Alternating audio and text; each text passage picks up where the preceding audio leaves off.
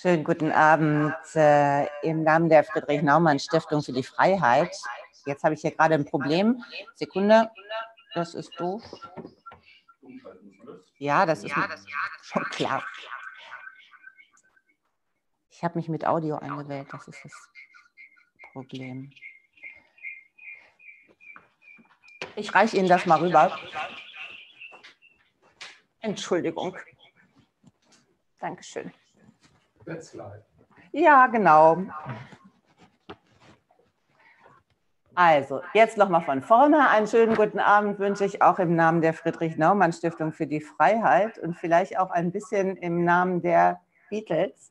Denn als ich das Gespräch hier vorbereitet habe, da ist mir der Song Hello Goodbye in den Sinn gekommen und seitdem habe ich sowas, was ich ein Ohrwurm nenne. Bye bye Liberalismus, Fragezeichen. Darüber wollen wir heute diskutieren, nicht unbedingt um den Liberalismus zu verabschieden, aber vielleicht um ihn ein Stück weit zu erneuern.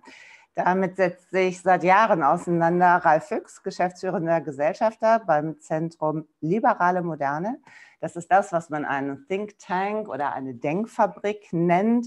Und äh, es darf eben da auch laut nachgedacht werden über Demokratie, individuelle Freiheit und Weltoffenheit. Herzlich willkommen, Herr Füchs. Vielen Dank. Herzlich willkommen, Marco Buschmann, erster parlamentarischer Geschäftsführer der FDP-Bundestagsfraktion und Buchautor Die sterbliche Seele der Freiheit zur Verteidigung der liberalen Demokratie. Das ist fast schon ein poetischer Titel für eine Arbeit, der, die die Leserschaft aber ordentlich ans Mitdenken und Mitüberlegen ähm, bringt. Der Bogen spannt sich vom Platon zu Popper bis hin zu Pille, dem Schiffsarzt von Raumschiff Enterprise und das Wichtigste von Bogen und vom Buch, jetzt vom Autor selber. Bitte schön. Ja, vielen Dank, Frau Welti. Ähm in meinem Buch geht es um ein Plädoyer für die liberale Demokratie und dass wir das brauchen, glaube ich, das ist mit Händen zu spüren. Es ist ja nicht mal eine Generation her.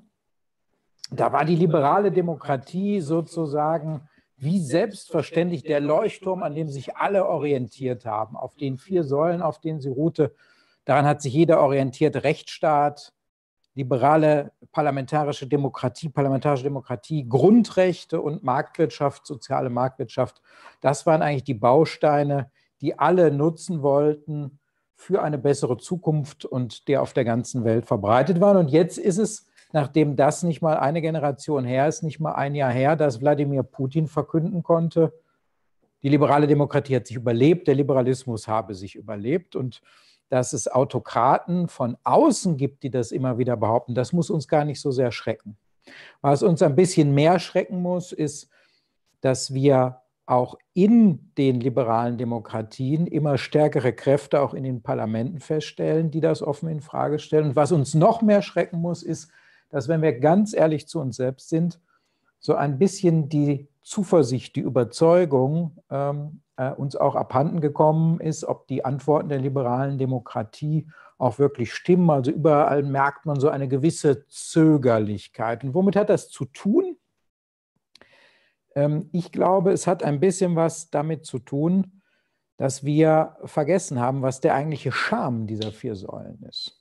Und die zentrale These, jedenfalls in meinem Buch, ist ja, dass die Menschen nicht Taschenrechner auf zwei Beinen sind, äh, nicht eben Vulkanier mit spitzen Ohren und grünem Blut in den Adern, sondern dass wir sehr leidenschaftliche Wesen sind, im Guten wie im Schlechten. Und dass wir auch so ein bisschen vorgeprägt sind, ob wir eben ein bisschen stärker individualitätsorientiert oder schwarmorientiert sind, wie ich das nenne. Das habe ich nicht erfunden. Es gibt viele Wissenschaftler, die sich mit dieser Polarität beschäftigen. Es gibt sehr viel Evidenz für. Und dass es eben noch eine andere Polarität gibt, die ich Neophilie und Neophobie nenne, also ob ich sozusagen eher so vom Typus geprägt bin, dass ich Neues interessant finde, dass ich neue Leute interessant finde, dass ich neue Dinge interessant finde, oder ob ich sage, so wie es ist, ist es doch ganz gut und wie schön wäre es, wenn es immer so bleiben würde. Und äh, daraus kann man jetzt so Typen bilden. Ich habe das in dem Buch getan. Ich habe das mal die vier Schulen der sterblichen Seele genannt. Aber dass ich die so nenne, ist gar nicht so entscheidend. Wichtig ist, dass wir wissen, dass egal wo Menschen sind, es immer sehr unterschiedliche Perspektiven auf denselben Sachverhalt geben wird. Also diese Idee einer homogenen Gesellschaft oder einer scientistischen Gesellschaft, die, wenn sie auf einen Sachverhalt schaut, alle eigentlich zum gleichen Ergebnis kommen müssen, das ist eine Illusion. Das ist falsch und das ist sogar gefährlich.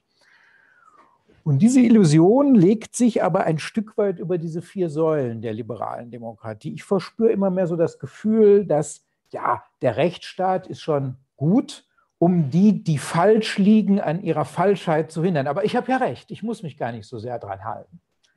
Warum soll ich nicht Häuser besetzen können, wenn ich auf der richtigen Seite der Geschichte stehe? Weil der Rechtsstaat ist ja nur, um die auf der falschen Seite der Geschichte zu hindern.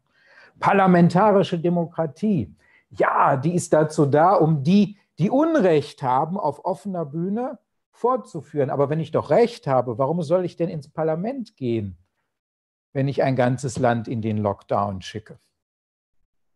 Grundrechte, ja, für die, die auf der falschen Seite der Geschichte stehen, ist es gut, dass sie durch Grundrechte gehindert werden. Aber ich stehe auf der richtigen Seite. Warum soll ich mich also um die Grundrechte kümmern, die doch nur dazu da sind, um mich zu bestärken? Und letztendlich bei der Marktwirtschaft verbreitet sich ja immer mehr so das Gefühl,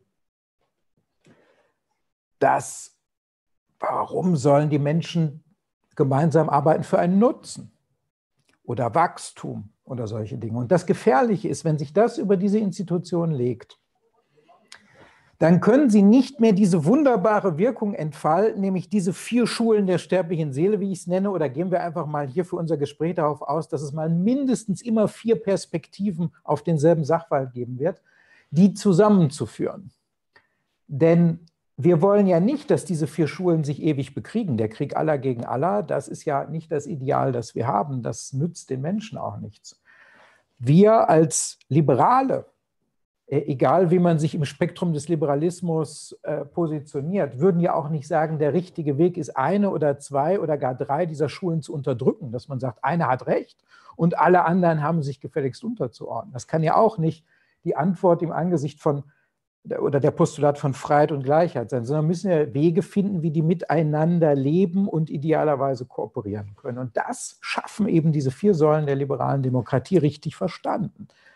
Der Rechtsstaat, der nicht über Menschen moralisch urteilt, sondern der einschreitet, wenn ihre, ihre Rechtspositionen verletzt werden, um sie zu verteidigen. Um diese Rechtsposition, nicht um moralisch pauschal zu urteilen, sondern ihre Rechtsposition zu verteidigen.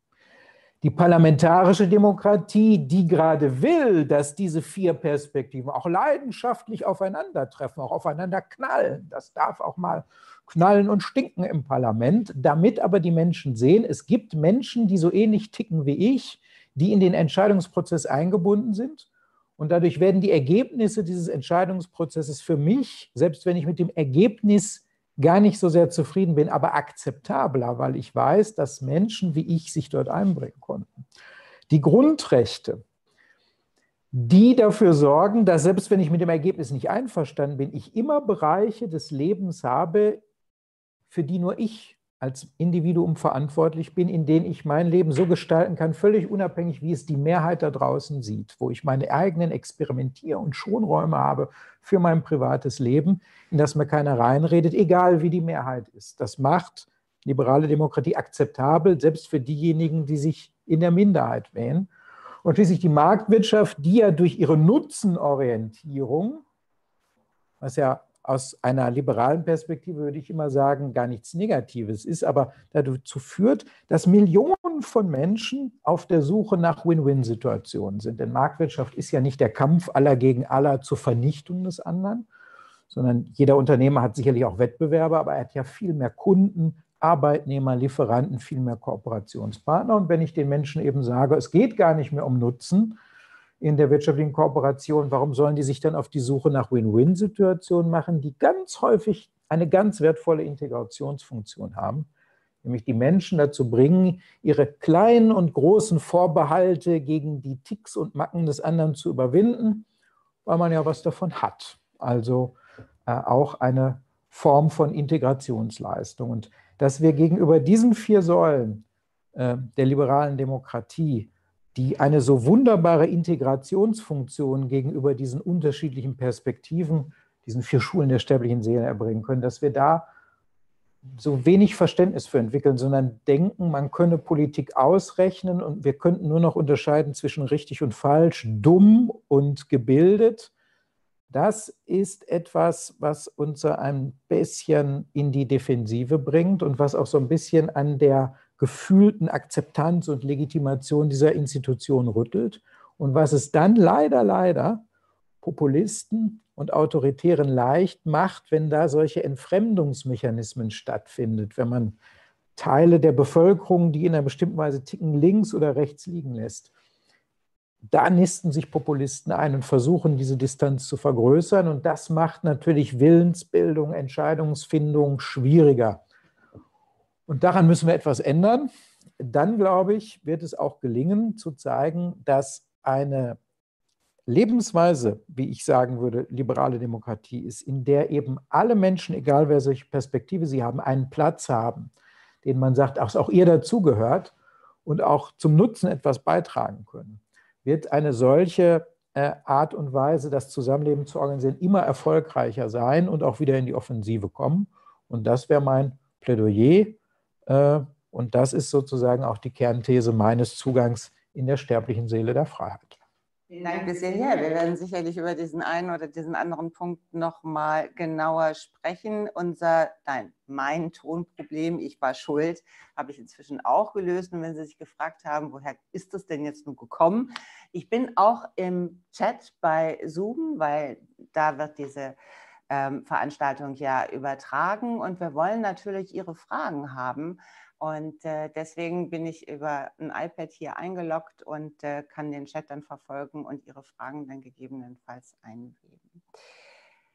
Ralf Füchs hat die großen Linien der Debatte schon einmal auch schriftlich festgelegt. Freiheit verteidigen, wie wir den Kampf um die offene Gesellschaft gewinnen. Das Buch erscheint 2017. Und manche Kapitelüberschrift ist geradezu beängstigend aktuell der Streit um die Mohammed-Karikaturen oder der Aufstieg des Donald Trump. Herr Füchs, Ihr Plädoyer für den Liberalismus, bitte. Vielen Dank. Ich würde gerne sagen, doch mit einer Referenz an das Buch von Marco Buschmann äh, beginnen, das ich nur zur Lektüre empfehlen kann. Das ist ähm, eine Bildungsreise, wenn man das liest. Ich habe mich immer gefragt, wann haben Sie die Zeit, als äh, Vollprofi sein Politiker so viel zu lesen hat, einen umfangreichen ähm, Literaturkanon, ähm, eine große Spanne zwischen äh, politischer Philosophie, Psychologie, Zeitgeschichte, sozialwissenschaftlichen sagen, Themen. Und ich äh, finde, es liefert tatsächlich äh, einige sagen, Erkenntniseffekte, einige Aha-Erlebnisse.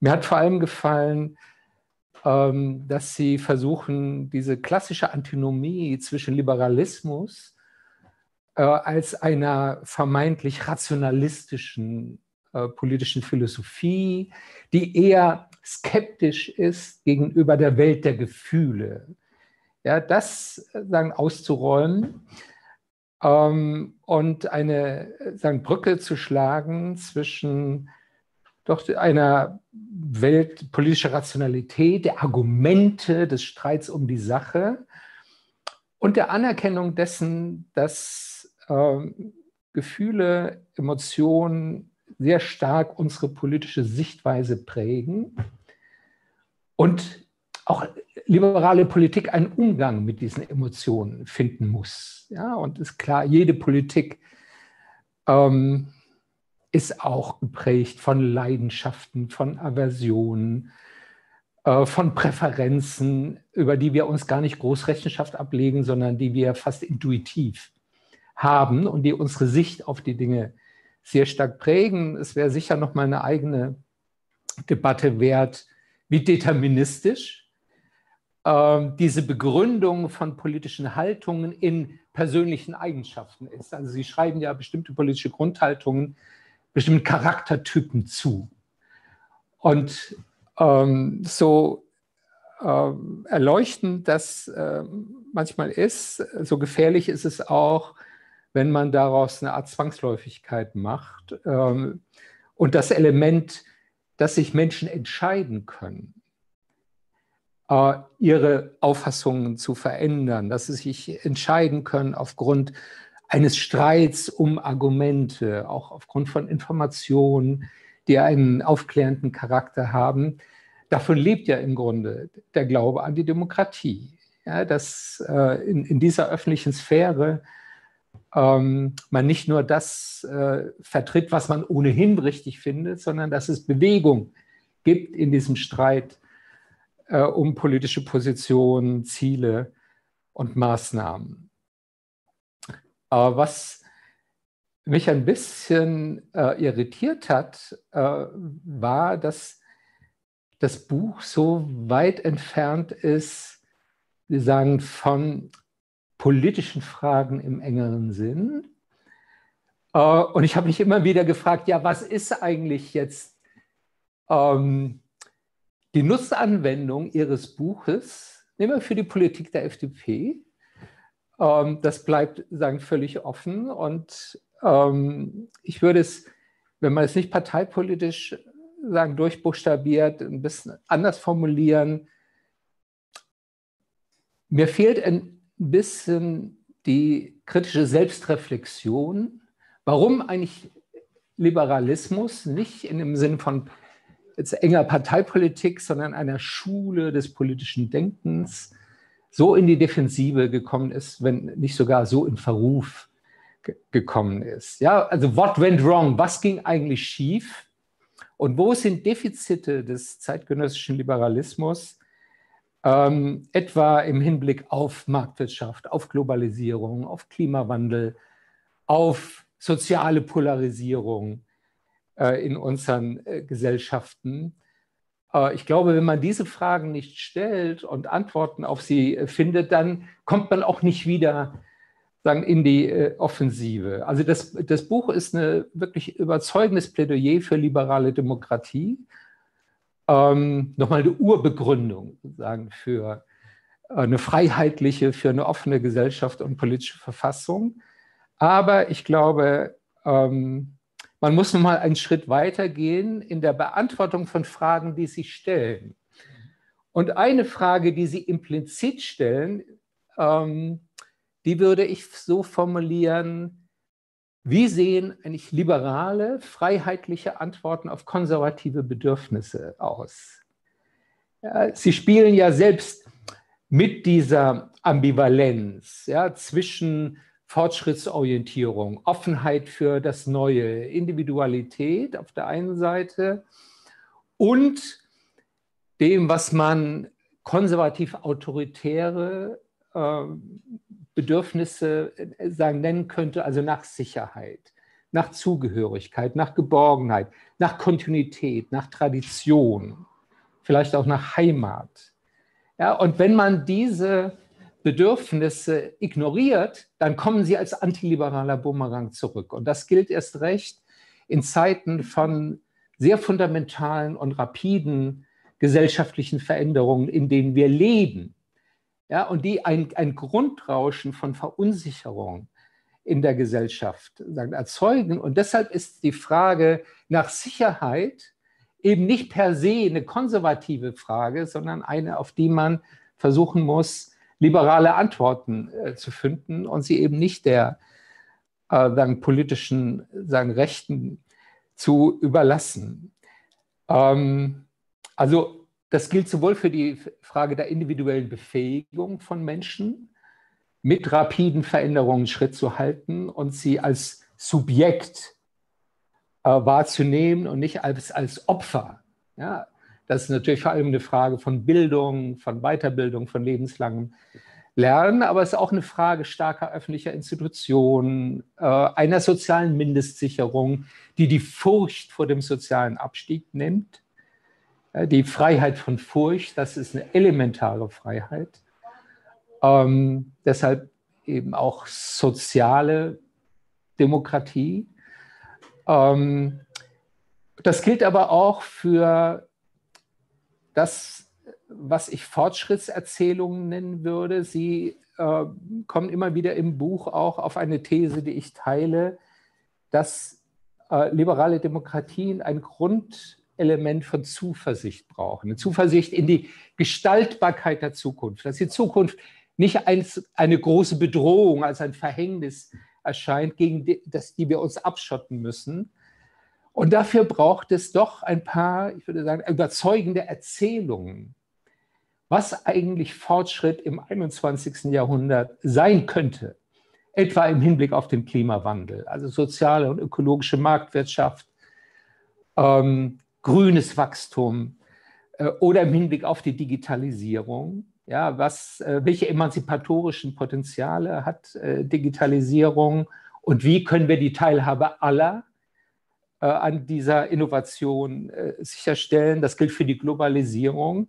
Wie verhindern wir, dass Globalisierung unsere Gesellschaften immer stärker spaltet in die Gewinner und Verlierer ähm, des internationalen sagen, Wettbewerbs?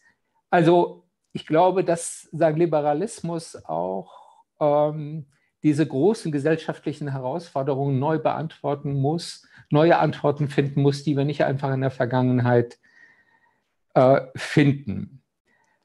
Ähm, wenn man Liberalismus begreift als ähm, eine emanzipatorische Politik der Veränderung, ja, anknüpfend an das, was er einmal war. Der Liberalismus hat ja begonnen als, heute würden wir vielleicht sagen, eine Anti-Establishment Bewegung, als ein revolutionäres äh, Denken gegen den Absolutismus, gegen die feudalen Verhältnisse, gegen die Monarchie, mit dieser Idee der gleichen Freiheit aller. Das war eine revolutionäre Idee. Dann erscheint der Liberalismus heute oft als eine Art Status quo-Verteidigung der Privilegierten.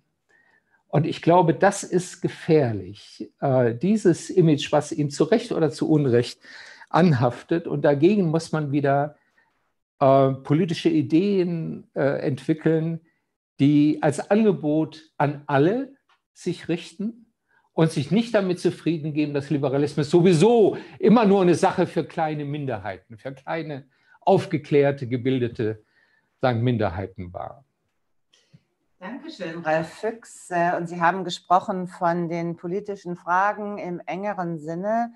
Tatsächlich stellen sich ja eine ganze Menge solcher Fragen in diesen unruhigen Zeiten. Heute Tag 1 im sogenannten Wellenbrecher-Shutdown. Morgen letzter Tag der amerikanischen Präsidentschaftswahl. Frankreich erschüttert nach einer ganzen Reihe von islamistischen Attentaten. Herr Buschmann, kann, muss, soll Liberalismus auf diese Fragen eine Antwort finden? Ja, muss, weil der Liberalismus ist ja kein Selbstzweck, das ist ja nicht la polar, sondern es ist ja eine ähm, Gestaltungsphilosophie, eine politische Philosophie und die muss immer den Anspruch haben, ähm, Welt, ich sage es mal ganz naiv, etwas besser zu machen. Also eine politische Philosophie, die nicht den Anspruch hat, die Welt ein Stück weit besser zu machen, die hat ja keine Existenzberechtigung. Mit der kann man sich dann ganz gebildet auseinandersetzen, aber sie muss gestalterischen Anspruch entwickeln. Und das, was Herr Füchs gesagt hat, ist deshalb völlig richtig.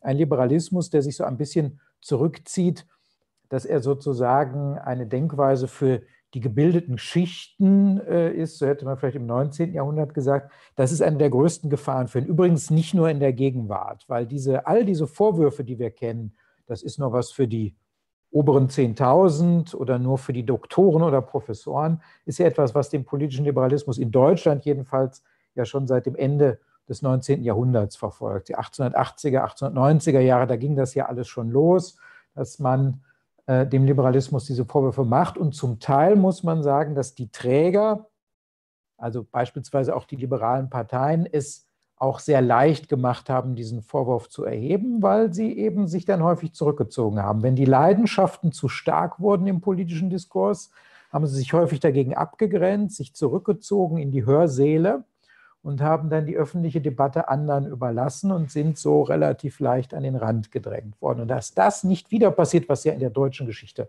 mehrfach passiert ist, das ist natürlich einer der ganz starken Antriebskräfte. Und das, was Herr Füchs gesagt hat über mein Buch, stimmt natürlich. Aber Liberalismus findet ja auf zwei Ebenen statt. Ich hätte natürlich auch so ein Buch schreiben können, zehn Punkte, mit denen es in Deutschland vorangeht. Sind die typischen Politikerbücher. Also wir müssen in der Wirtschaft das machen, bei Innen- und Recht müssen wir das machen und dann kommen noch acht Forderungen hinterher und das ist dann das Zehn-Punkte-Programm. Ähm, wozu führt das? Die Anhänger der eigenen Partei lesen das und applaudieren. Die Anhänger anderer Parteien ignorieren es wahrscheinlich und wenn sie es lesen, wenden sich in Abscheu und Entsetzen davon. Nur das war ja nicht mein Projekt, sondern mein Projekt war eine Nachdenklichkeit über die politischen Lager hinweg zu erzeugen. Warum dieses großartige institutionelle Arrangement, in dem ja erstmal ein breites politisches Spektrum sich wiederfinden soll, das nicht etwas ist, auf das wir uns einigen können sollen. Das ist erstmal sozusagen der erste Punkt. Und die anderen Dinge, die Sie gesagt haben, ja völlig klar. Also wenn in Deutschland Menschen wegen ihrer sexuellen Orientierung Gewalt ausgesetzt sind, der Fall in Dresden völlig inakzeptabel. Wer da schweigt oder wer dazu indifferent ist, und zwar meiner Meinung nach nicht nur ob als Liberaler, jeder Demokrat muss sagen, das kann äh, nicht in Ordnung sein amerikanische Präsidentschaft hat ja sogar schon dazu geführt, dass man äh, die Frage stellt, ob Demokratien sterben und sogar die große amerikanische Demokratie ist natürlich eine sehr dramatische Zuspitzung, aber die zeigt ja, man kann das nicht ignorieren, äh, was da passiert, wenn möglicherweise Gewaltenteilung ausgehebelt wird, wenn da sehr breite politische Mehrheiten, das ist ja in der amerikanischen Kultur sehr wichtig, der politische Hintergrund bei den Richtern am obersten Gerichtshof. Wir haben das ja in den letzten Wochen auch erlebt. Das sind alles Dinge, die einen umtreiben müssen und dazu muss der Liberalismus eine Antwort geben auf der Ebene der konkreten Policy. Aber er muss auch ein Angebot machen für diejenigen, die anders als er selber denken im Rahmen des politischen Spektrums. Und das war so ein bisschen mehr mein Projekt. Und all die Fragen, die Herr Füchs angesprochen hat, da können wir heute Abend äh, tiefer einsteigen, da würde ich mich äh, drauf freuen, weil das sind natürlich Dinge, um die man ringen muss. Da muss eben leidenschaftlich auch Wettbewerb stattfinden, ähm, wie wir äh, damit Zukunft besser machen, Zukunft besser gestalten. Ähm, ich beende sofort meinen Monolog, weil wir haben ja noch ein bisschen Zeit und da werden wir einsteigen. Aber das so sozusagen nur zu diesem äh, zu dieser Beschreibung von Herrn Fuchs, die völlig äh, richtig ist, dass das nicht so ein Policy-Buch ist, zehn Punkte, wie, man Deutschland besser macht, sondern eben ein Gesprächsangebot über die politischen Lager hinweg. Aber so ganz äh, einverstanden und überzeugt scheinen Sie nicht zu sein. Ja, ich, äh, also mir hat ja dieses Grundsätzliche des Buches äh, gut gefallen. Ähm, weil es um ein bestimmtes Verständnis dessen geht, was liberale Demokratie ausmacht. Äh, übrigens auch ähm, als eine Art der, der, Befriedung von Gesellschaften, das finde ich einen wichtigen Aspekt, ja, anzuerkennen, dass es legitimerweise andere Denkweisen gibt, andere Grundhaltungen, mit denen Menschen an äh, politische und gesellschaftliche äh, Fragen herangehen und dass es nicht darum geht, die zu besiegen und möglichst zu eliminieren aus der politischen Landschaft, was eine weit verbreitete Haltung ist, ja, dass nur die eigene Position ist legitim. Alle anderen sind eigentlich, sagen, illegitim. Ähm, die Reduzierung von Politik auf Freund-Feind, ja, diese Art permanenter ziviler Bürgerkrieg manchmal sogar bewaffneter äh, zwischen unterschiedlichen politischen Lagern. Das, das finde ich alles sagen, überzeugend. Und trotzdem ähm, glaube ich nicht, dass die Krise der liberalen Demokratien, die ja massiv ist, ja, wenn wir, da ist die Bundesrepublik ja fast noch eine Insel der Seligen.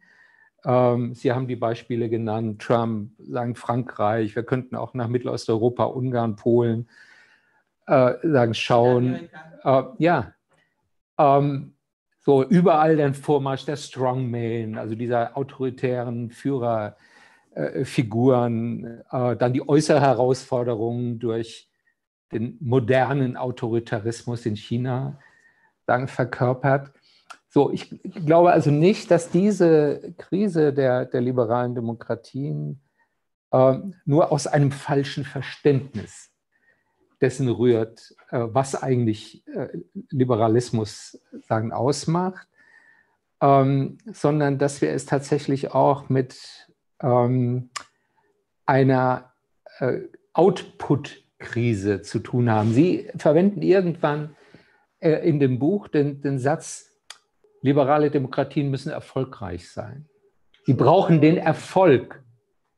Und das stimmt, weil daran werden sie letztlich gemessen von der Mehrheit der äh, Bevölkerung. Die Liebe zur Freiheit ist eine prekäre sagen, Geschichte, wenn liberale Demokratien versagen angesichts neuer sagen, Herausforderungen. Und ich glaube, es hat so ein paar Schläge gegeben, die ähm, die Zuversicht in liberale Demokratien erschüttert haben. Die Finanzkrise von 2008, 2009 war eine, ähm, die polarisierende Wirkung der, der Globalisierung, äh, vielleicht auch 9-11, also die Anschläge in, in New York, die auf einmal so ein neues Bedrohungsgefühl äh, sagen, erzeugt haben. Und wenn wir ehrlich sind, dann ähm, waren unsere Antworten oder waren die, die politischen Antworten, die die meisten liberalen Demokratien darauf gegeben, nicht so wahnsinnig überzeugend. Ja, wenn man etwa so ein, ich würde sagen, ein Ur, äh, äh, äh, liberalen Denkens, nämlich Aufstiegsmöglichkeit für alle, als Maßstab nimmt. Ja, die Aufstiegsmobilität in unseren Gesellschaften ist zurückgegangen. Die ist nicht gewachsen, sondern sie hat sich reduziert. Ja, und ähm, dieses Gefühl, dass Gesellschaften immer stärker auseinanderdriften, dass die Früchte des Wachstums extrem ungleich verteilt werden, ja, alle, auf alle diese Fragen, finde ich, braucht es überzeugendere Antworten, als wir sie in den letzten 20 Jahren gegeben haben. Aber darf ich da direkt mal einschauen, weil ich das sind ganz wunderbare Beispiele, gerade diesen Dreiklang, den Sie genannt haben, 9-11, Finanzkrise, man könnte heute bei Corona weitermachen. Äh, ähm, schauen Sie sich doch mal an, wie wir damit umgegangen sind. Also auf den, den 11. September, was ja für die ganz furchtbare auch Bedrohungssituation war ja nicht nur in den USA, wir hatten Anschläge hier auch in Europa, das Bedrohungsgefühl war groß und dann gab es eine politische Reaktion. Wir haben das damals so ein bisschen äh, zugespitzt unter zum Beispiel unter den sogenannten Otto-Katalogen. Das waren diese Sicherheitsgesetze, die damals unter dem sozialdemokratischen Innenminister Otto Schily durchgeführt worden sind. Die konnte man für falsch halten. Das haben wir als FDP auch getan aber die sind regulär ins Parlament gegangen, sind dort mit Mehrheit beschlossen worden. Man konnte anderer Meinung sein, aber das war in den Spielregeln. In der Finanzkrise war es schon schwieriger. Da mussten wir als Parlament mit Händen und Füßen, mit Kratzen, Beißen und Spucken darum kämpfen, überhaupt noch im Pilotensessel zu bleiben. Ich weiß das selber, ich war damals Abgeordneter einer regierungstragenden Fraktion. Im Kontrollturm. Im ja, Pilotensessel also, waren sie gar nicht. Ja, das, das, das stimmt, aber wir konnten durchsetzen, dass am Ende jedenfalls da, wo dann die Entscheidungen über Geld wirklich getroffen worden sind, in diesen die diversen Special Purpose Vehicles, EFSM und wie sie alle heißen, dass da dann die deutschen Vertreter nur zustimmen durften, wenn sie eine Erlaubnis vom Parlament bekommen hatten. Aber das war wirklich ein ganz schwieriger Prozess mit Kratzen, Beißen und Spucken. Kann ich, ich kann das wirklich auch aus den Gesprächen vor und hinter der Kamera äh, selber als Zeuge belegen. Da haben wir es noch irgendwie hinbekommen. Aber mittlerweile bekämpfen wir Krisen und ich bin sehr dafür, Krisen entschlossen zu bekämpfen, aber ohne Parlamente. Und das kann nicht sein. Warum? Weil natürlich, wenn die Menschen äh, den Eindruck haben, äh, wir haben sowas wie Grundrechte, wir haben mal sowas wie demokratische Spielregeln, wir haben ein demokratisch gewähltes Parlament, aber wenn es schwierig wird, gilt das alles nicht. So ist es. Dann entsteht der Eindruck, das sind Schönwetterregeln und dann äh, entsteht natürlich, das ist dann natürlich kein so überzeugendes Bild. Äh, und das, äh, glaube ich, deshalb zeigt dieser Dreiklang, dass schon auch auf der Ebene, wie wir zu den Entscheidungen kommen, sich da etwas verändert hat. Genau in diesem Dreischritt. Zur gouvernementalen so Demokratie. Es. Die genau. Exekutive, die Exekutive wird immer stärker und das korreliert, wenn Sie so wollen, im Prinzip mit Strong Men, auch wenn wir hier eine Strong Woman an der Spitze haben, die natürlich sehr bescheiden auftritt, aber von der Weg, wie sie zu Entscheidungen kommt, ja nicht minder entschlossen und strong agiert als der ein oder andere Man, äh, den Sie äh, da genannt haben. Und das ist schon ähm, das äh, ist natürlich etwas, was äh, schon etwas mit der Frage zu tun hat, wie richtige Krisenbekämpfung stattfindet. Insofern ist das richtige Verständnis von Liberalismus vielleicht doch auch ein Beitrag. Das alles entbindet uns aber nicht. Natürlich über die Frage zu sprechen, wie lösen wir denn diese Herausforderung? Und die, die wirklich zentrale Frage ist, kriegen das Regierungszentralen im, also ich will jetzt nicht sagen im Elfenbeinturm, das wäre polemisch, aber kriegen es eine kleine, kleine Minderheit äh, in Regierungszentralen hin, diese Probleme zu lösen? Oder versuchen wir nicht, das Know-how, das Wissen in der gesamten Gesellschaft zu aktivieren. Man muss ja sagen, erst recht in diesen Seiten müssen so wir die Vorzüge der deliberativen so Demokratie zur Geltung bringen. So ist es. Und die da, Klugheit der vielen. So ist es. Aber Und dann braucht es natürlich auch Institutionen, die das bündeln. Absolut. Zu Entscheidungen. Und bündeln. das ist ja gerade der Witz der Institutionen der liberalen Demokratie, dass sie öffnen, deliberativ wirken dann aber das bündeln und zusammenführen, anstatt zu früh den Prozess abzubrechen durch eine autorita autoritative Entscheidung.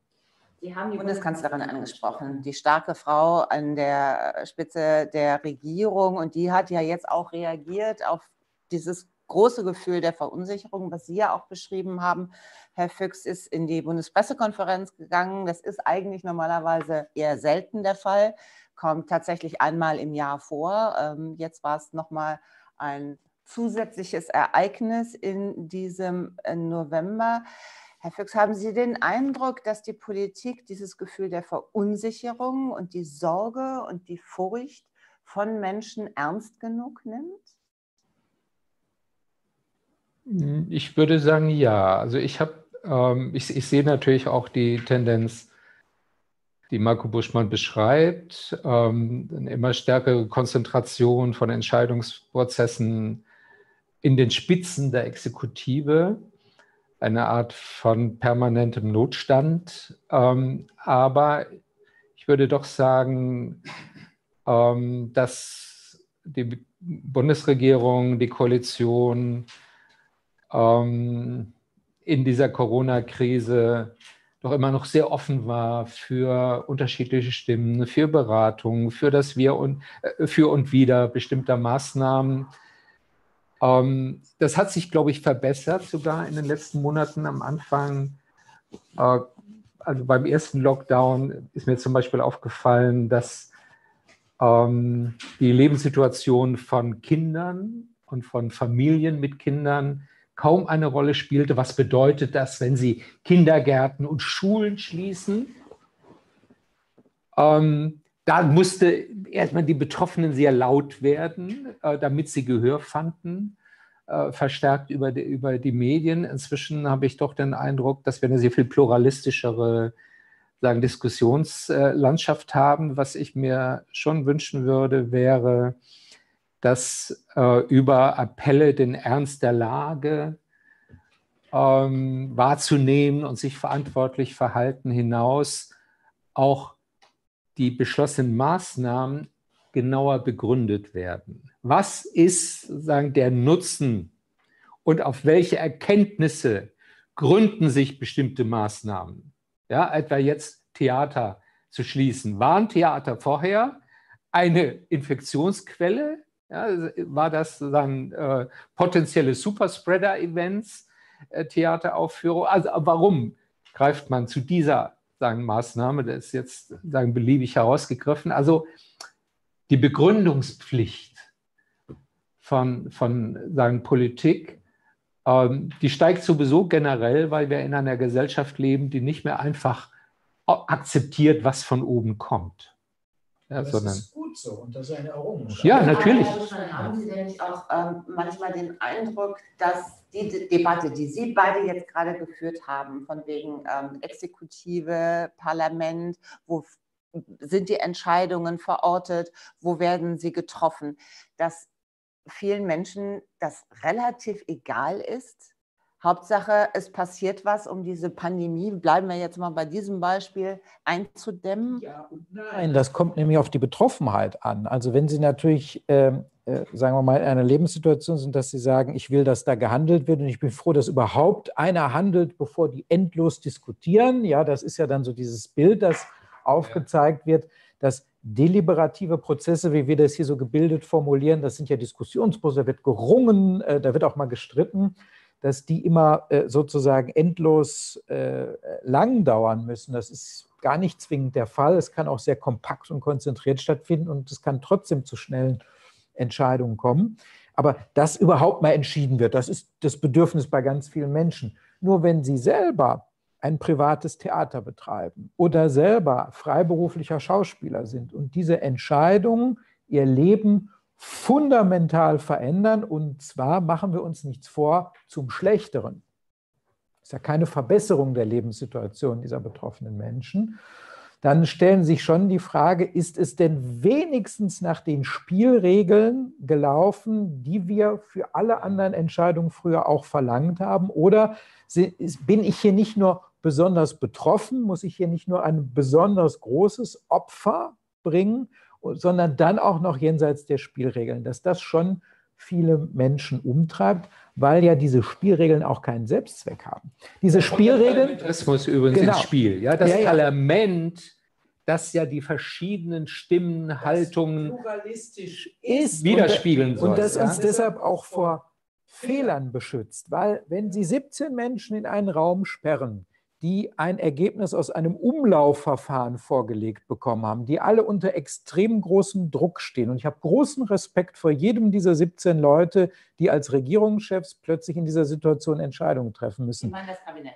Ich meine die 16 Ministerpräsidenten und die Bundeskanzlerin, äh, ja, die da jetzt sitzen und Entscheidungen treffen müssen. Aber wir wissen, dass Menschen in solchen Situationen zu sehr konformistischen Entscheidungen äh, neigen. Und wenn heute Ministerpräsidenten oder gestern vielmehr verkünden, sie können eigentlich nicht genau begründen, warum diese Maßnahmen in ihrem Land etabliert werden, außer der bundesweiten Solidarität, dann ist das natürlich was, was Leute umtreibt, die davon betroffen sind. Und deshalb ist diese Begründungspflicht, das ist nicht nur la pour la, sondern die Begründungspflicht soll uns vor Fehlern unserer Entscheidung, vor übereilten Entscheidungen, vor übertriebenen Entscheidungen bewahren. Das ist ein Stück weit Qualitätssicherung, wenn man so will. Die Begründung vor den Gerichten, aber auch die Begründung im Parlament und auf das Gegenargument hören zu müssen und zu merken, Mensch, vielleicht hatte ich da doch einen blinden Fleck. Und dann ist es ja nicht so, dass dann alle sofort sagen, oh, ich gestehe, ich habe einen Fehler gemacht,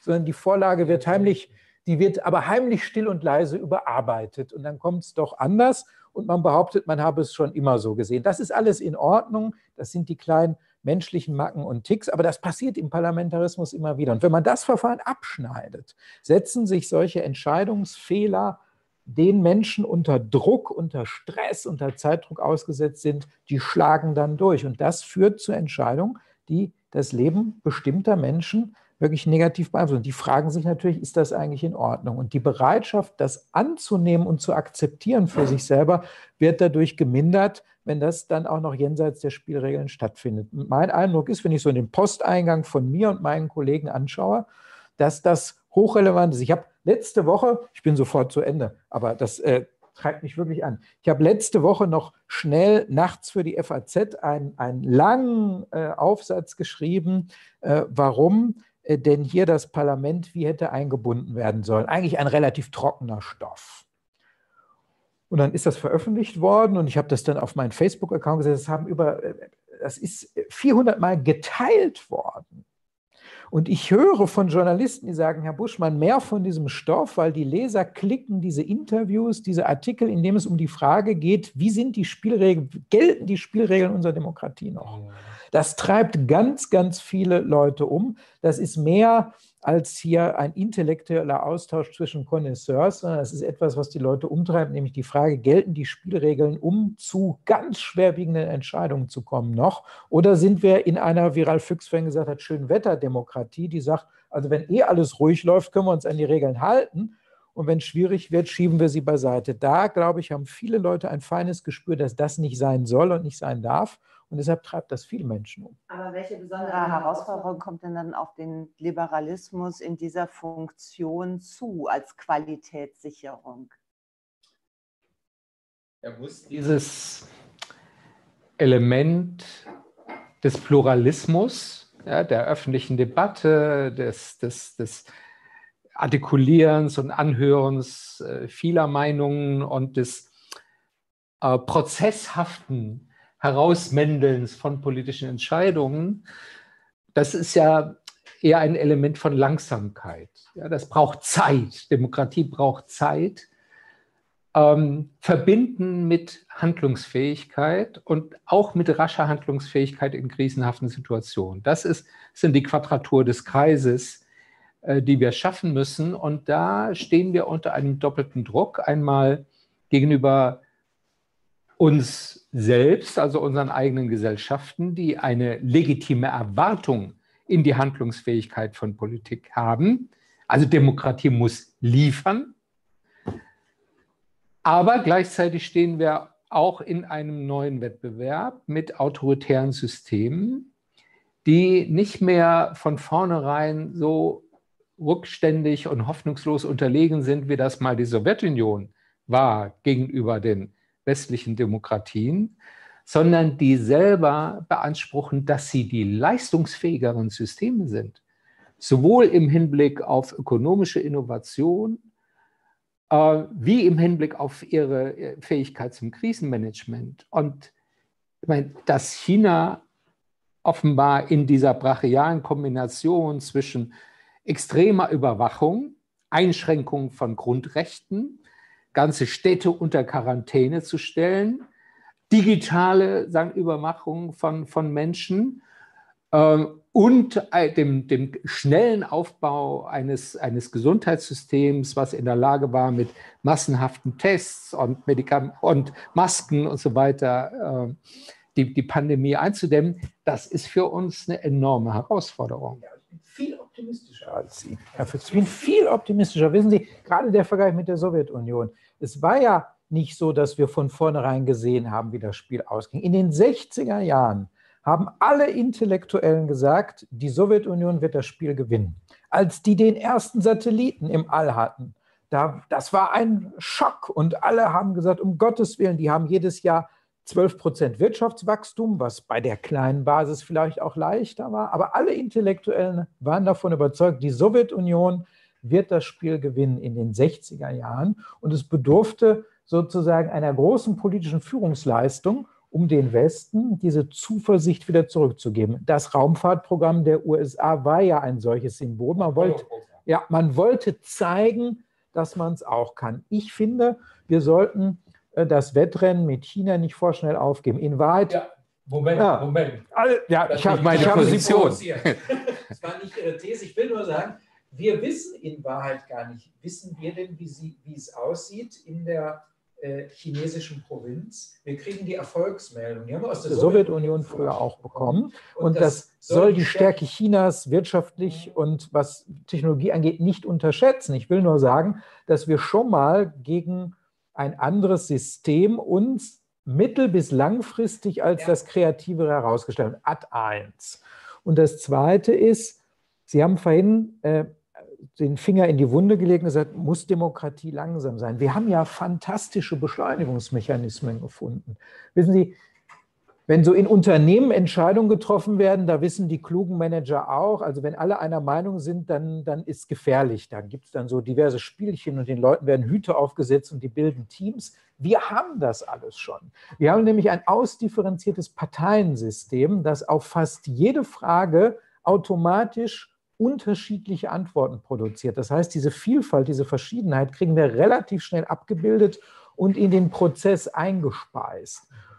Trotzdem brauchen demokratische Prozesse tendenziell natürlich etwas länger, aber wir haben sie wahnsinnig beschleunigt. Und deshalb glaube ich, dass wir in der Lage sind, mit den Spielregeln und in den Spielregeln der liberalen Demokratie zu liefern, um mittel- bis langfristig auch Kreativitäts- und Erfolgswettbewerbe zu gewinnen. Den Grundoptimismus teile ich. Ähm, also das Vertrauen darauf, dass gerade die Qualitäten von offenen Gesellschaften, Vielfalt, Ideenwettbewerb, ähm, sagen, ihre Innovationsfähigkeit, ihre Kreativität höher ist als die autoritärer Systeme. Aber Trotzdem glaube ich, dass äh, China eine neue Qualität von Herausforderungen repräsentiert, weil denen etwas gelungen ist, was wir lange für unmöglich oder für unvereinbar gehalten haben, nämlich eine harte autoritäre Kontrolle über, über die Gesellschaft mit einem hohen Maß an Innovationsfähigkeit. Und diese Herausforderung müssen wir uns stellen, indem wir selbst besser werden. So ist es. Besser werden. Wettbewerblich sein, ja. Aber ist es nicht auch so, dass die Demokratie tatsächlich auch durch Länder wie China, wie Russland, ähm, meinetwegen auch inzwischen wie die, wie die USA, die also sich eigentlich immer autokratischer verhalten, dass der Liberalismus dadurch nicht auch massiv gefährdet ist? Ich würde sagen, Konkurrenz belebt das Geschäft. Äh, also Wettbewerb tut uns vielleicht ganz gut, um wieder aufzuwachen und aus dieser etwas bräsigen Selbstgewissheit, die sich da eingeschlichen hat, nach den 90ern, wo man das Gefühl hatte, liberale Demokratie und Marktwirtschaft haben jetzt endgültig gesiegt. Es gibt keine globale Alternative mehr. Daraus äh, wieder, wieder aufzuwachen und äh, uns mehr anzustrengen. Ja, ich glaube, dass Ralf Füchs da recht hat. Denn in Wahrheit ist es ja auch so ein Stück dieser Denkfaulheit gewesen, äh, durch die wir verlernt haben zu argumentieren, zu werben äh, und sozusagen äh, auch zu zeigen, was der Charme äh, dieser äh, Instrumente und ist. Auch nachlässig geworden sind gegenüber ja. gesellschaftlichen Fehlentwicklungen. Auch arrogant. Äh, wenn Sie sich anschauen, wie wir zum Teil Institutionen in Osteuropa implementiert haben, nicht umsonst kommt von dort ja der Bumerang zurück. Die haben gesagt, wir ertragen diese Arroganz, die wir zum Teil an den Tag gelegt haben, solange der Output stimmt und wenn wir jetzt Krisen des Outputs haben, siehe Finanzkrise und so weiter, dann kommt der Bumerang eben zurück. Und deshalb äh, ist, das, ist das richtig. Und das liberales Denken eben aus der Couch, das sieht jetzt komisch aus, wenn ich das auf einer Couch sitzend so sage, auf der aufgefordert wird, von der Couch aufzustehen und wieder leidenschaftlich zu werben und die Auseinandersetzung zu suchen ähm, dann ist genau dieser Spruch, Wettbewerb belebt das Geschäft, genau richtig. Gerade wer ein überzeugter Liberaler ist, kann ja eigentlich nicht dafür für Monopole des Denkens werben. Aber wie lassen sich denn Vertrauen auch in die Institutionen und den Parlamentarismus äh, wieder stärken? Also wenn ich zum Beispiel jetzt nach Frankreich gucke, Sie haben alle diese Geschehnisse verfolgt, äh, wenn da Menschen auf offener Straße oder in einer Kirche brutal ermordet werden, das hinterlässt ja auch ein großes Gefühl von Verunsicherung und von, von Bedrohung. Ja, ich glaube, man muss sich genau anschauen. Also natürlich ist es so, wenn wir können nicht vor, vor, vor jede Tür einen Polizisten stellen. Also absolute Sicherheiten können offene Gesellschaft nicht gewährleisten. Wenn sich aber in der Gesellschaft der Eindruck einschleicht, dass man bestimmte Bedrohungen ignoriert oder dass sich bestimmte Teile der Bevölkerung melden und, sagen wir mal, äh, um Hilfe ersuchen.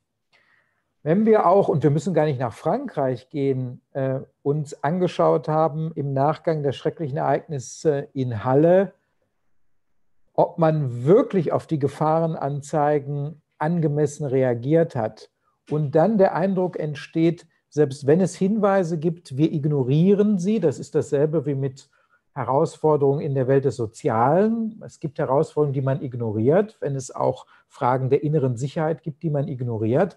Dann beschleicht die Menschen natürlich ein Gefühl, dass, obwohl man um bestimmte Gefahren weiß, man nicht angemessen handelt. Und das ist dann natürlich gefährlich, weil das sind Grundbedürfnisse, die abgesichert sein äh, müssen. Und da ist es schon so, dass wenn man sich mal anschaut, wie, wie, wie, wie äh, jetzt eine Debatte auch um islamistischen Terrorismus beispielsweise entsteht in ganz Europa, dass man eben, dass wir uns, finde ich, das geht mir so ein bisschen auf den Senkel, es gibt immer so Terrorismuskonjunkturen. Ne? In den 70ern haben sich dann alle in den 80ern um den linken Terrorismus gekümmert, in den letzten Jahren um den rechten Terrorismus, anstatt dass man sozusagen diesen Herausforderungen in der gesamten Breite angemessen gegenüber reagiert und dass jede Form von Extremismus und Terrorismus ähm, eine entschlossene Absage bekommt und auch mit den entsprechenden staatlichen Ressourcen bekämpft wird. Und äh, das ist, glaube ich, eine Anforderung, die Bevölkerung an Staat, an liberale Demokratie hat. Und da darf man nicht den die falsche Interpretation von Liberalität wählen, ich sage mal nach dem alten Sponti-Spruch legal, illegal, scheißegal, das ist nicht Liberalismus, sondern Liberalismus heißt, dass ich äh, sozusagen so viel Freiheit wie möglich beim Einzelnen lasse, aber trotzdem gesellschaftliche Ziele mit den mildesten Mitteln verwirklichen kann. Und dazu gehört natürlich auch eine, eine Sicherheit gegen Kriminalität, eine Sicherheit gegen Terrorismus und auch Sicherheit äh, im sozialen äh, Bereich. Und die, den Debatten muss man sich natürlich stellen. Was kann mir helfen, um beispielsweise auch zu verhindern, dass sich Menschen in ja, so eine emotionale Abwärtsspirale begeben, dass so etwas entsteht wie eine politische Depression?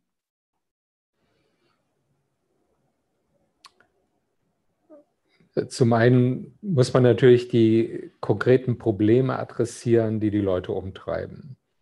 Ja, ob das die Angst vor sozialem Abstieg ist, ob das die Wohnungsfrage ist, die neue soziale Frage in den urbanen Zentren, ja, dass sich Normalverdiener kaum noch äh, eine Mietwohnung leisten können, geschweige denn mit, äh, Wohnungseigentum erwerben können. Oder ob das ähm, Erfahrungen sind von zunehmender sozialer Fragmentierung äh, zwischen unterschiedlichen ethnischen, religiösen, kulturellen Milieus. Also diese Problemanzeigen muss man ernst nehmen und muss versuchen, auf sie Antworten zu geben. Und gleichzeitig braucht es meines Erachtens jenseits solcher zupackender praktischer sagen, Politik eben auch ein paar überzeugende Erzählungen, äh, die wieder sowas wie äh, Zukunftszuversicht und äh, ein Gefühl verstärken, dass der Fortschritt nicht vorüber ist, dass es nicht eine Sache der Vergangenheit ist und von nun an geht es bergab. So, das ist so ein bisschen ein Grundgefühl, was sich äh, in vielen westlichen Gesellschaften ausbreitet. Zum ersten Mal glaubt eine Mehrheit der Bevölkerung, dass es die Kindergeneration schlechter haben wird als, äh, sagen die Elterngeneration. Das finde ich ziemlich alarmierendes äh, Zeichen. Äh, wenn ich etwa den Klimawandel äh, nehme, ja, der eine reale Bedrohung ist, der eine reale Gefahr ist, dass die Lebensbedingungen sich äh, dramatisch verschlechtern für Milliarden von Menschen, haben wir darauf Antworten, die noch etwas mehr und etwas anderes sind als vorwärts, wir müssen zurück, wir müssen uns einschränken, wir müssen uns zurückziehen aus der industriellen Moderne, sondern können wir diese Herausforderung in eine Art Aufbruch verwandeln, ich würde sagen, eine grüne industrielle Revolution, die äh, viele Chancen für sagen, neue Jobs äh, sagen, bietet, ähm, für Unternehmertum, für Erfindungsreichtum. So, darum geht es, glaube ich, wie man Bedrohungen in Chancen verwandeln kann. Wenn die Antwort auf eine Bedrohung freiwillige Verarmung ist, dann darf man sich nicht wundern, wenn die Leute diesen Weg nicht mitgehen wollen, sondern deshalb äh, muss es ob man das jetzt Wachstum, Wohlstand, Fortschritt oder wie auch immer nennt, es muss eine Perspektive geben, dass die Menschen sagen, wir können diesen Weg gehen und unser Leben wird besser. Und wenn ich nicht in der Lage bin, ein solches Ziel zu formulieren, darf ich mich nicht wundern, wenn Menschen diesen Weg nicht mitgeben will. Und deshalb ist es eben so gefährlich, wenn wir so, ich sag mal, so alttestamentarische äh, äh, Politikangebot jetzt führen. Ja, ähm, unser, die, die, ganze Welt, nehmen Sie den Klimawandel, das ist ja, das hat ja sowas Alttestamentarisches. Wir werden jetzt bestraft für unsere Sünden und deshalb müssen wir uns selber ein Stück weit kasteien, dass dann moderne Menschen sagen, ja, das ist ganz interessant, aber da habe ich das ist eigentlich nicht mein Weg, ist doch völlig klar, sondern wir müssen auf diese realen Bedrohungen, wie Herr Füchs es zu Recht gesagt hat, mit modernen Antworten reagieren. Und das äh, ist ja gar nicht so neu. Also ich kann mich noch daran erinnern, als ich zur Schule gegangen bin, gab es ein wunderbares Buch, Faktor 4 hieß das. Ne? Also doppelter Wohlstand bei halbem Ressourceneinsatz. Das haben wir mittlerweile sogar schon geschafft, wenn man nachrechnet. Und wenn wir das schon einmal geschafft haben, einen solchen Schritt, der damals als total utopisch total utopisch kalt. Warum sollen wir diese Schritte nicht noch mehrfach schaffen? Und das ist das, was ich meine mit, es muss so etwas wie eine Wohlstands-, eine Wachstums-, eine Nutzenperspektive geben für die Leute, weil es ist genauso, wenn die Menschen nicht mehr den Eindruck haben, es lohnt sich, sich einzubringen, wenigstens für meine Kinder, dass es für die aufwärts gehen kann. wo soll eigentlich die Motivation hergebracht werden, diese Anstrengungen auf sich zu nehmen? Und deshalb müssen wir eben auf diese modernen Herausforderungen moderne Antworten liefern und nicht alttestamentarische. Ja, wir können gerne noch ein bisschen an diesem, diesem Beispiel bleiben. Ich meine, um Sie jetzt mal nicht als Philosoph, sondern als FDP-Politiker sagen, zu, zu, zu adressieren.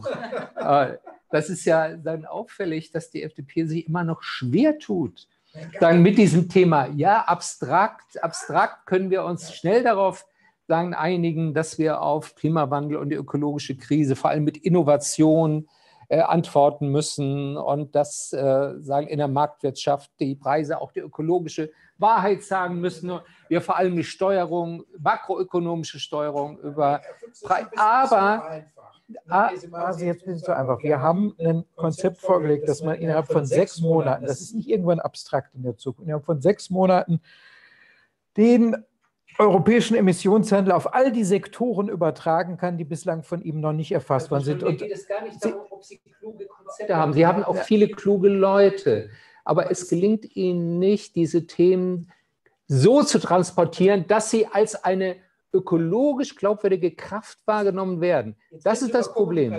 Das ist ja auch schon mal ein Riesenfortschritt. Also Sie unterstellen uns wieder etwas Böses. Sie sagen sogar, die Konzepte sind richtig. Das ist ein enormer Fortschritt, äh, wie wir uns hier auf und zu bewegen, sondern Sie sagen, allein die Kommunikation ist das Problem.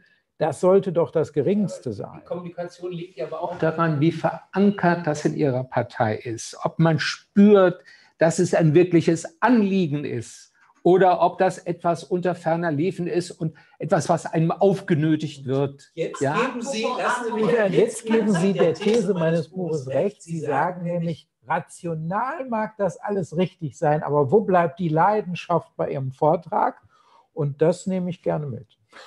Jetzt hatte ich gerade so eine schöne Überleitung, nämlich apropos Kommunikation. Sie werden sich vielleicht wundern, warum wir Ihre Online-Fragen nicht mit reinnehmen. Ich kann die hier leider nicht sehen. Wir arbeiten an einer analogen Übersetzung, stille genau, stille Post, die, die, gute Zettelwirtschaft.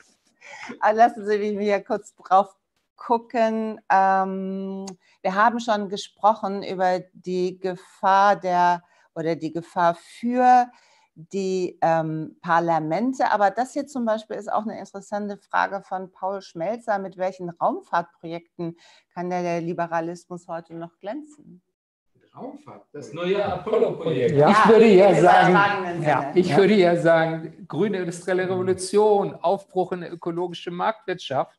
Das ist noch etwas ambitionierter als das äh, Apollo-Programm von, von Kennedy. Aber genau darum geht es. Die Mobilisierung sagen, aller unserer kreativen Fähigkeiten, unserer wissenschaftlichen Potenziale, unserer Ingenieurinnen-Intelligenz, ähm, der Schwarmintelligenz der, der Gesellschaft für einen großen Schritt nach vorne, ich will nicht sagen Sprung nach vorne, das ist verbrannt, aber für einen großen Schritt dann nach vorne in der Entwicklung der industriellen Moderne. Ja, und ich glaube, ich bin im Ziel ganz bei. Ich glaube, dass das nur wettbewerblich geht und ich glaube, das wird nicht der eine große Schritt sein, sondern dieser große Schritt wird durch ganz viele kleine inkrementelle Verbesserungen im Wettbewerb stattfinden. Und ich würde ein anderes Thema nennen, das wäre doch in Wahrheit, jedenfalls in Deutschland und auch in den großen äh, europäischen Staaten, doch die unfassbaren Potenziale für besseres Regieren und auch für Emanzipationsprojekte im Bereich der Digitalisierung noch nicht im Ansatz gehoben haben. Wenn ich mir anschaue, was kleine baltische Staaten, was kleine osteuropäische Staaten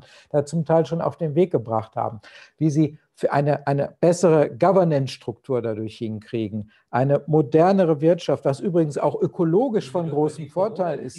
Zeigt doch, dass Absolut. wir ein digitales Entwicklungsland sind. Genau, die asiatischen Staaten wie Taiwan und Südkorea, die machen es uns vor, die haben keine zweite Welle.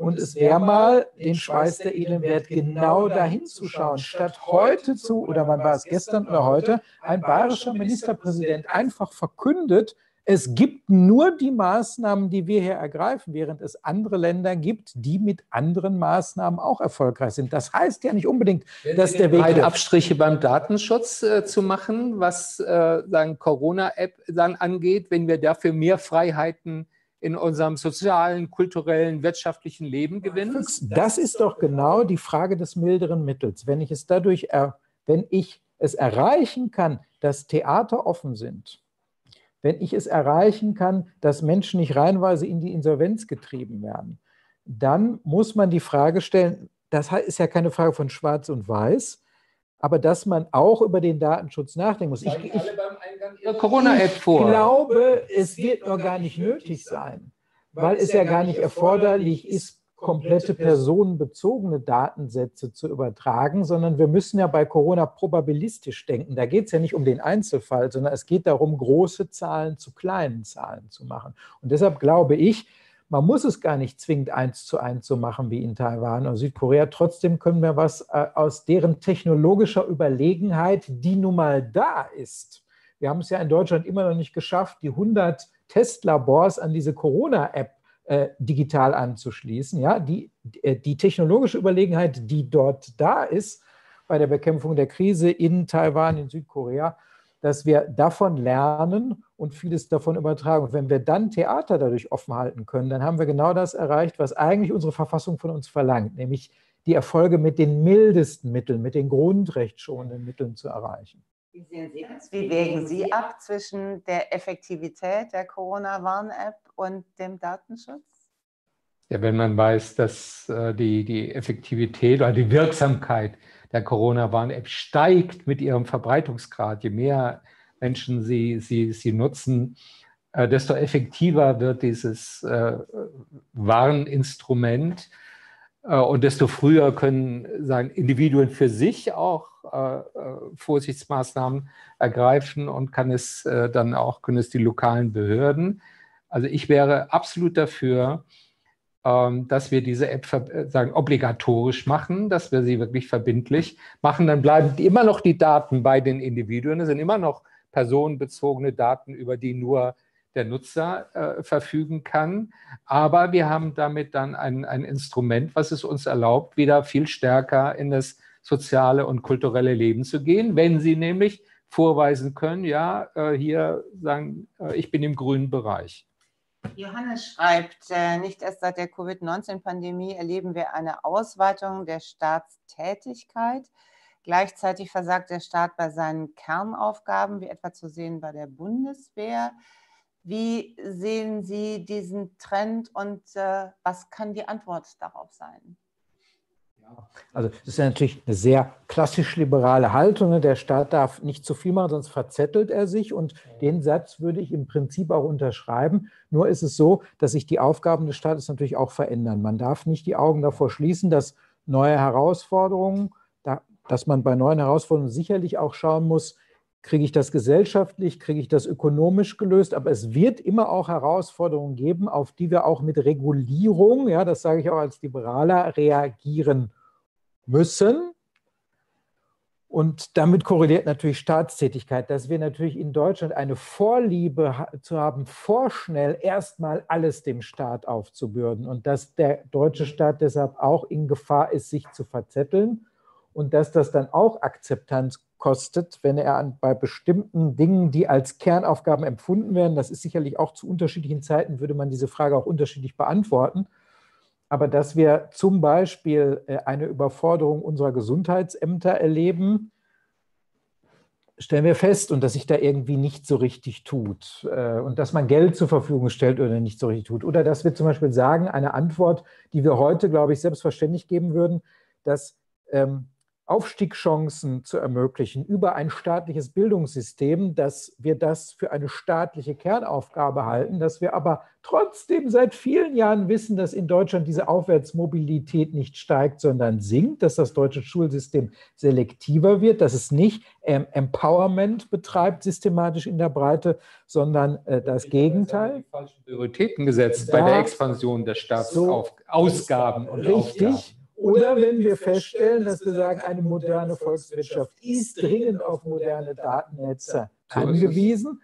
Äh, ein Verkehrsminister Alexander Dobrindt verkündet bis zum Ende seiner Amtszeit gibt es keine weißen Flecken mehr. Und die erste äh, Sache, die sein Nachfolger Andi Scheuer verkündet, ist eine App einzuführen, mit der man diese weißen Flecken findet, die es gar nicht mehr geben dürfte. Und wenn wir in Wahrheit heute uns anschauen, dass wir so einen richtig riesen Fortschritt nicht gemacht haben, kann ich schon verstehen, dass man den Eindruck haben kann, dass sich die deutsche Politik Aber zu sehr verzettelt. Das wäre doch eine Steilvorlage für den modernen Liberalismus. Sagen die Bedeutung öffentlicher Güter öffentlicher Institutionen, der öffentlichen Infrastruktur nicht als Gegensatz zu individueller Freiheit, sondern als etwas Komplementäres ja, von einem starken öffentlichen Bildungssystem über Gesundheitseinrichtungen bis hin zur technischen Infrastruktur der, der Gesellschaft.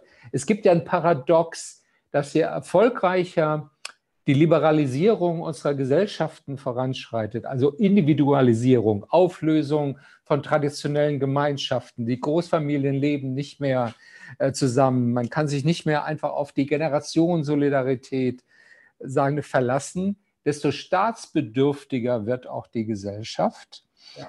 Das geht auch mit der Globalisierung übrigens, äh, sagen einher. Also man muss raus aus diesem falschen Dualismus individuelle Freiheit hier, Staatstätigkeit dort, sondern man braucht eine Art von intelligenten sagen Staat und das bedeutet vor allem moderne, leistungsfähige öffentliche Institutionen. Intelligent heißt aber, dass es nicht nur schwarz und weiß gibt, sondern dass wir so eine intelligente Fuzzy Logic brauchen.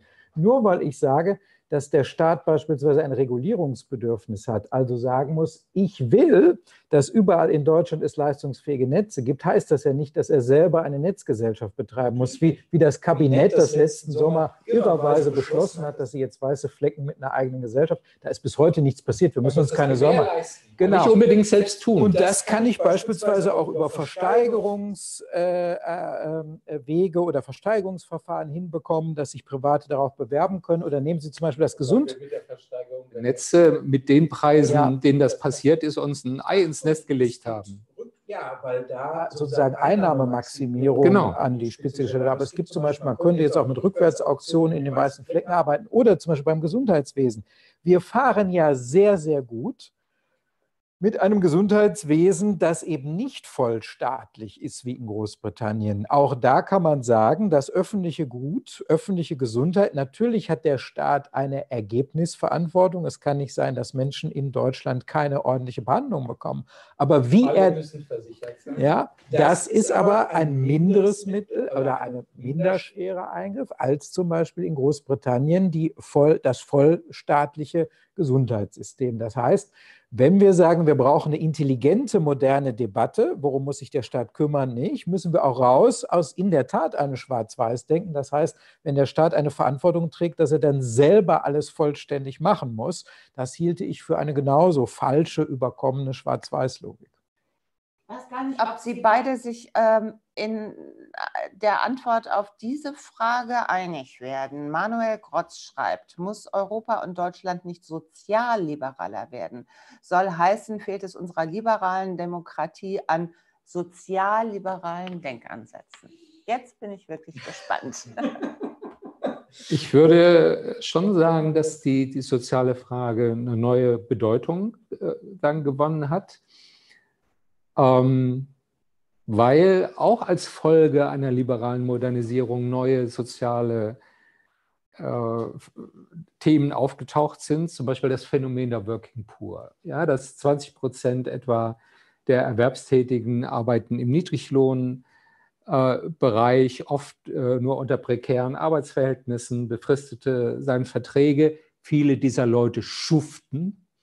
Also wenn Sie etwa gucken, die Bedingungen da in dem ganzen äh, Liefer- Speditionsgewerbe, die Leute, die die Pakete äh, sagen, sagen, ausliefern, das sind mörderische sagen, Arbeitsbedingungen oder in den Reinigungsdiensten.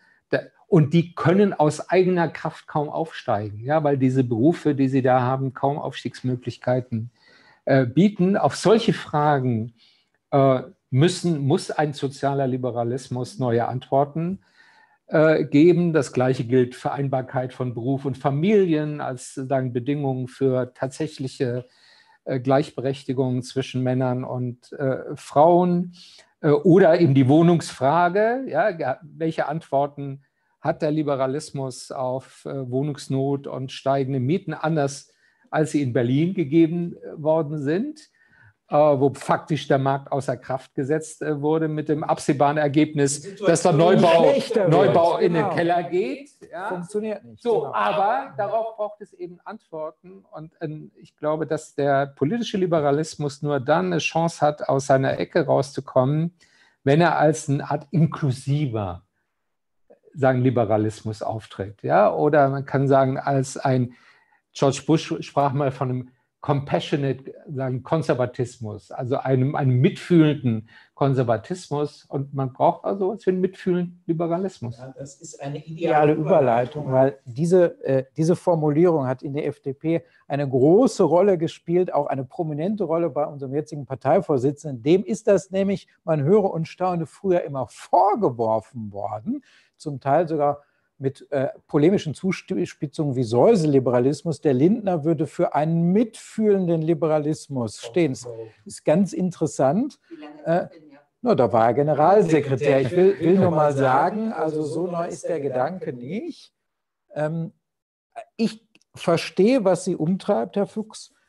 Ich mag nur diese Bindestrich-Liberalismen nicht, weil ein klug verstandener Liberalismus per se sich nicht reduzieren darf auf ein Elitenprojekt, sondern immer Perspektiven fürs Ganze anbieten muss, im Sinne von, dein Einsatz lohnt sich. Wenn du dich einbringst, kannst du ein Stück weit mehr aus deinem Leben machen. Zumindest kannst du mehr bestimmen, wie dein Leben vonstatten geht. Und deshalb meine ich immer, ist dieses Sozial vor den Liberalismus zu schreiben, das ist so, das ist so wie weißer Schimmel äh, aus meiner Perspektive. Ich weiß, dass das unterschiedlich gesehen wird, aber deshalb mag ich diese Bindestrich-Liberalismen nicht. Was aber völlig klar ist, ist ein Liberalismus, den man verstehen würde als ein Spaltungsprojekt. Es gibt die Lucky Few, die gut ausgebildeten, jungen, motivierten Leute, die der Arbeitsmarkt, ich sag mal, bis Corona extrem belohnt hat. Da gab es ja keinerlei Sorgen auf Einstieg, auf Aufstieg, Perspektive.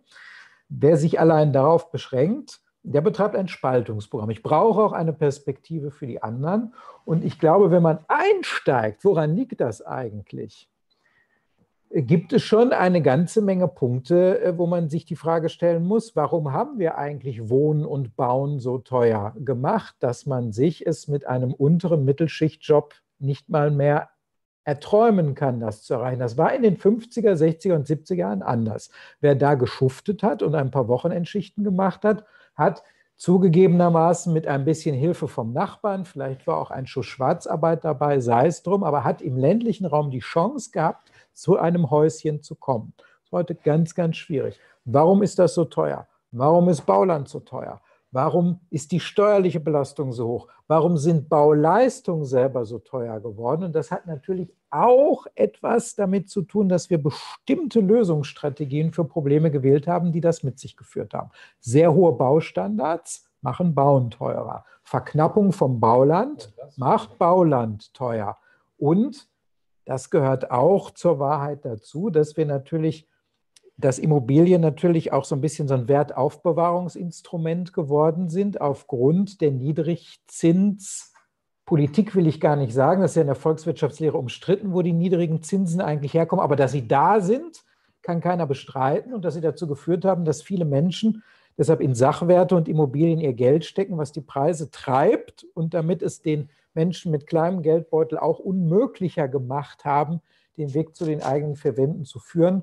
Ist auch klar. Und wenn dann der Staat auch noch kommt und die Grunderwerbsteuer vergrößert, dann ist das natürlich ein Riesenproblem, auch für die gerade die mittlere und untere äh, Mittelschicht. Da schließt sich die Frage von Paul Markus Schmelzer an. Warum tut sich der organisierte Liberalismus auch so schwer einzugestehen, wenn der Markt nicht funktioniert?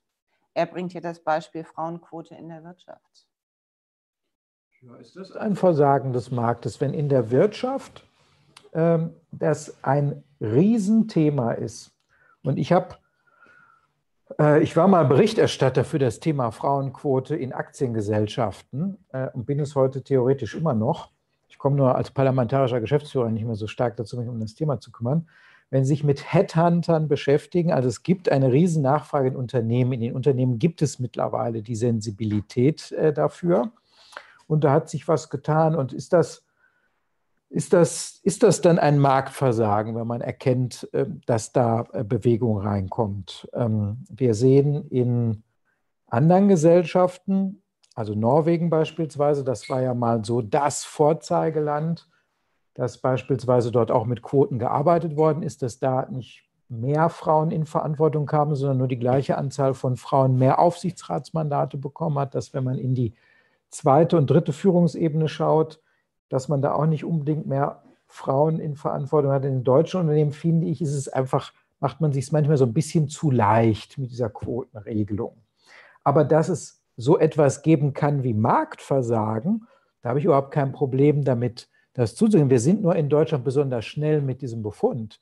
Wenn wir die einzelnen Beispiele mal durchgehen, würde ich in an ganz vielen Baustellen, wir haben es vorhin gesehen, die soziale Frage beim Wohnen, haben wir vorhin gesehen, der Staat selber hat dazu beigetragen, dass es dieses Problem gibt. Es ist an vielen Stellen häufig ein Staatsversagen, das zu diesen schlechten Ergebnissen führt, die man versucht, dem Markt und dem Wettbewerb unterzuschieben.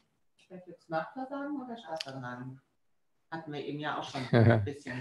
Also ein bisschen ähm, Henne und Ei bei, bei vielen Fragen. Also wenn ich nochmal den Klimawandel nehme, das können Sie natürlich als äh, ein historisches Marktversagen nehmen weil äh, CO2 keinen kein Preis hat ja, und äh, die, die, das sagen, Klima als globales Gut deshalb auch ökonomisch ähm, keinen Wert hatte und wir Unternehmen und wir Konsumenten sagen CO2 kostenlos in der Atmosphäre deponieren konnten. Und das ist natürlich eine politische Aufgabe dann. Mhm. Das ist eine Governance-Aufgabe, den Ordnungsrahmen von Märkten so zu verändern, dass diese Externalisierung von ökologischen Kosten unterbunden wird und sagen, die, die Natur mit in die volkswirtschaftliche und in die betriebswirtschaftliche Rechnung sagen, eingepreist äh, werden muss. In vielen Fragen, äh, etwa beim, beim, Wohnungsbau würde ich aber auch sagen, es ist eher eine, ein Staatsversagen. Warum hat sich zum Beispiel der Berliner Senat und fast alle anderen Landesregierungen aus dem sozialen Wohnungsbau verabschiedet. Und sie dafür ja? Geld bekommen. Und, ja, und hat eine Flächenpolitik, dass Tempelhof zum Beispiel nicht ja, sagen, gebaut wird, mitten in der Stadt, voll erschlossen, äh, ideales äh, sagen, wo, Berlin unterschreiben. Die hat ja, nee, mal, Sie haben ja eine Kampagne für die offene Haltung von Tegel betrieben. Nein, nein, wir haben also, jetzt, nein, nein, die Berliner FDP sammelt immer Unterschriften für Tempelhofer Feld, für Randbebauung. Ähm, genau, also äh, ich will nur eins sagen, diese also es wird manchmal ja immer so getan, als ob Markt so etwas Anarchisches wäre und äh, keiner Regulierung bedürfte. Es ist, glaube ich, eine, nicht eine Frage des Entweder-Oder, sondern des richtigen oder des falschen Maßes. Also selbst auf den allerersten Märkten und Marktplätzen, schon im Mittelalter in Europa, gab es immer so etwas wie die Marktgerechtigkeit. Ja, es gab äh, Gewichte und Maße, die geregelt waren, damit man sich nicht gegenseitig über, über, äh, übers, äh, über Leisten gezogen hat. Also es gab Standards, äh, wie man die Geschäfte so miteinander betreibt, ähm, dass Betrügen schwieriger wird. Und es gab immer den guten alten Satz, Verträge muss man halten. Und man musste die Frage beantworten, was passiert eigentlich, wenn sich einer der beiden Vertragspartner nicht dran hält. Das heißt, Spielregeln, Regulierungsrahmen und die Durchsetzung dieses Rahmens ist eine Voraussetzung auch für funktionierende Märkte. Nur, ja, häufig geraten wir in ein Übermaß, dass wir häufig nicht nur den Rahmen regeln wollen, sondern dass wir dem Wettbewerb äh, sozusagen auch vorgeben wollen, dass wir als Staat besser wüssten, wie die Aufgabe zu erledigen ist. Und da haben wir in Deutschland schon eine ziemliche Vorliebe für. Das machen wir sehr gerne, weil uns nach wie vor, das ist so ein Erbe auch noch aus dem Kaiserreich, wo man ja gesagt hat, Marktwirtschaft, das ist so was Schreckliches Angelsächsisches, das ist so etwas für, für diese komischen Angelsachsen. Da, da, da haben wir so einen Vorbehalt vor. Und äh, das merkt man auch in der deutschen Politik nach wie vor. Sind Sie gegen Industriepolitik? Kann man so pauschal nicht beantworten. Also es gibt zum Beispiel unterschiedliche Phasen von Industrien. Ähm, wir haben äh, in Deutschland ja beispielsweise erlebt, dass ohne ein gutes Schienennetz Industrialisierung schwierig ist, weil wenn die Rohstoffe und die End wenn die Endprodukte nicht zum Konsumenten und die Rohstoffe nicht zur Fabrik kommen, dann ist auch nicht viel mit Industrialisierung. Also ich finde, man kann als Politik auch Voraussetzungen schaffen, die eine ökonomische Entwicklung wahrscheinlicher machen. Beispielsweise flächendeckend gute Datennetze als Ergebnis von Politik wird auch ökonomische Entwicklung in diesem Bereich beschleunigen. Wenn man das als digitale Industriepolitik verstehen will, wäre ich dafür. Wenn man Industriepolitik, ich will, lasse mich nur das Negativbeispiel bringen. Viele verstehen unter Industriepolitik die bedingungslose Erhaltung des Alten auf Kosten von Konsumenten und Steuerzahlern. Stichwort deutscher Steinkohlebergbau. Das halte ich für falsche Industriepolitik. Ich möchte am Schluss nochmal einen Blick werfen ähm, auf die Gegend der Welt, die jenseits des Atlantiks liegt. Morgen die amerikanische Präsidentschaftswahl. Herr Fix, was erwarten Sie für morgen und für die kommenden Tage vor allen Dingen? Also erstens erhoffe ich natürlich, dass Trump abgewählt wird.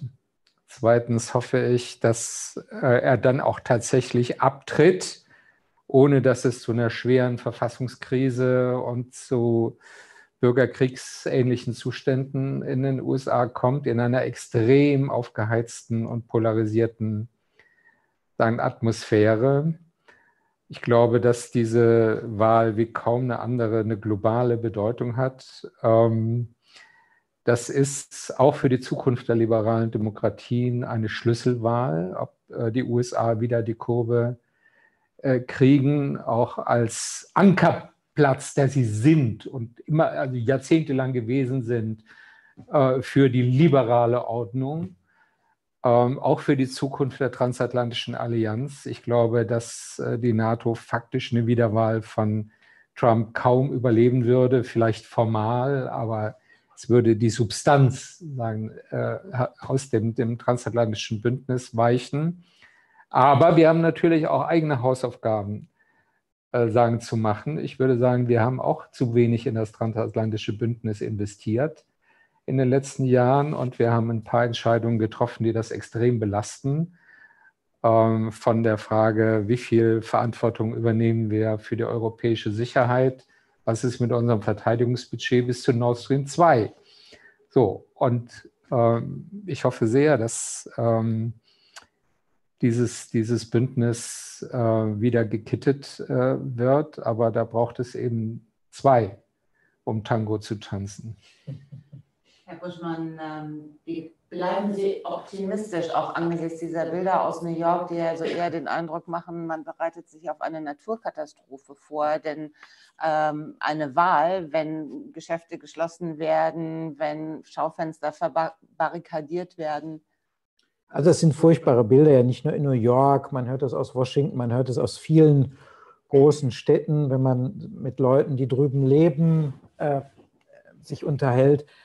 Wenn man sich anschaut, dass die Zahl der verkauften Waffen in die Höhe schnellt, das hat so, so notstandsartige äh, Auswirkungen, das ist zu spüren. Und es ist in Wahrheit natürlich traurig, dass ein eine demokratische Wahl, die ja ein, ein, ein, ein Standardverfahren ist, dass die sozusagen ein Land in das Gefühl des Notstands und sozusagen einer, einer fast also Sorge vor bürgerkriegsartigen Zuständen versetzt. Das ist, ist ein Schaden, der schon eingetreten ist. Und wenn man sich damit beschäftigt, wie unglaublich polarisiert die USA sind, kann man nur hoffen, dass äh, die USA sich einen Präsidenten wählen, der kein Interesse an der zunehmenden Polarisierung hat. Und man muss leider sagen, dass das ja genau Trumps Strategie ist. Stra Trumps Gewinnerstrategie in Anführungsstrichen war immer die Wahlbeteiligung zu senken, die Menschen in der Mitte so zu frustrieren, äh, ihnen ein Bild von Politik zu zeichnen als etwas so schäbiges, dass man sich besser davon fernhält und die Anhänger am Rand so auszumobilisieren, dass deren Erfolgsstimmgewicht dadurch steigt. So hat er es auch beim letzten Mal gemacht. Er hat ja nicht mehr Menschen an die Wahlurne geholt, es sind ja weniger Menschen an die Wahlurne gegangen. Das ist jetzt aber anders. Ja, Gott sei Dank, das ist ja ein Zeichen der, der, der Hoffnung Weil ich glaube, je mehr Menschen zur Wahl gehen, desto schwieriger wird es mit einer solchen Ausmobilisierungsstrategie der Extremen erfolgreich zu sein. Trotzdem bleibe ich ein bisschen vorsichtig. Ich war beim letzten Mal auch drüben, ich habe mir das angeschaut. Wir haben die vielen, vielen klugen Menschen und die Polsters, wie man sie dort nennt, also die Statistikexperten, wir haben ja alle mit großer Sicherheit vorhergesagt, dass es Trump nicht werden wird. Er wurde es trotzdem. Und wenn man sich dann damit beschäftigt, welche großen Verzerrungen es auch beim Stimmgewicht gibt, ähm, dann bleibt man bescheiden. Und wenn man sich die knappe Situation in vielen Swing States anschaut, die wir auch in den Umfragen haben, wird es eine unglaublich spannende Wahl. Nicht nur, weil es so knapp ist, sondern weil die Bedeutung in der Tat so gewaltig ist. Und äh, meine persönliche Meinung ist natürlich die, dass die Chance auf die Kittung des transatlantischen Bündnisses, auf die Befriedung des Landes natürlich mit einem Wechsel in der Präsidentschaft wahrscheinlicher ist als mit einer Bestätigung dieser Präsidentschaft. Eine spannende Wahl liegt vor uns, eine spannende Diskussion hinter uns. Und natürlich werden wir den Liberalismus an dieser Stelle nicht verabschieden, schon gar nicht im Namen der Friedrich-Naumann-Stiftung für die Freiheit. Aber es ist Zeit, Danke zu sagen. Marco Buschmann, Ralf Füchs, das sind die Gäste gewesen hier heute an diesem 2. November. Herzlichen Dank auch an alle, die im Hintergrund für Technik, Organisation, Vorbereitung gesorgt haben. Meine Technik hat heute leider nur sehr eingeschränkt funktioniert. Entschuldigung dafür. Aber wir bedanken uns auch ganz herzlich bei Ihnen für Ihre Zeit, Ihre Aufmerksamkeit, Ihre Fragen und Ihre Anmerkungen. Ich wünsche noch einen schönen Abend und äh, bleiben Sie gesund oder werden Sie es ganz schnell wieder. Dankeschön. Tschüss. Vielen Dank.